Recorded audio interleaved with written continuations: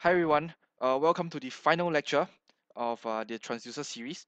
Um, this is going to be a really short lecture that will introduce the basic concept of uh, minimization, right? Uh, this is the final, the final operation that, that I'll be introducing for transducers.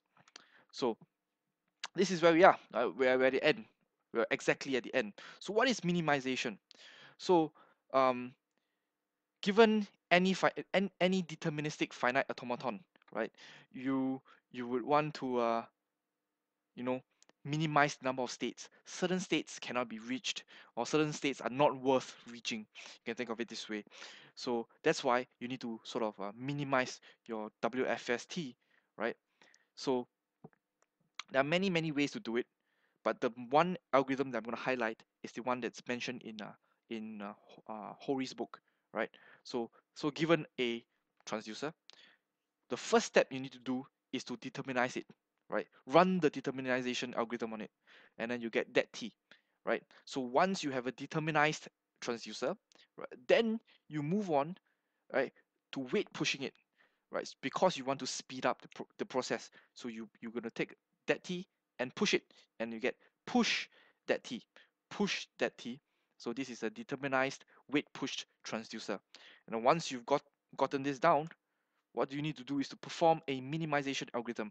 There are many, many minimization algorithms out there, right? And once you perform the minimization algorithm, now if you go back, you can see there's an extra uh, state here, number four, that doesn't take input, doesn't have an output, but it's there.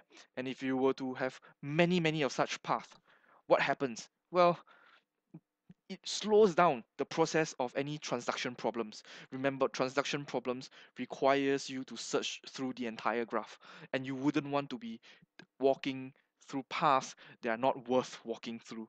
You would you you there these paths are are well are dead weight. You you want to lose them. That's why you want to minimize your WFST, right?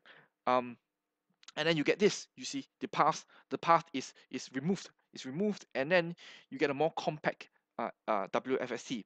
Now, as to why this is mathematically equivalent, this is this particular transducer here you see is mathematically equivalent to the, the to the previous ones. Um, well, that that is in itself a huge lecture, and the the equivalency theorem it's uh, is proved in certain math textbooks, right? But it, this is out of uh, our, the scope of this course, so don't worry, right? So the the, the most popular popular uh, minimization algorithm is known as the Hopcroft's algorithm. So um, this this is a very efficient uh, um, um, minimization algorithm for a deterministic uh, finite automaton. Remember, deterministic finite automaton, right? So, uh, but if you have a acyclic transducer, uh, remember, doesn't really need to be deterministic now, right? You can actually use the uh, Revuz Revuz algorithm. Uh, this is a more efficient algorithm for a acyclic transducer, right?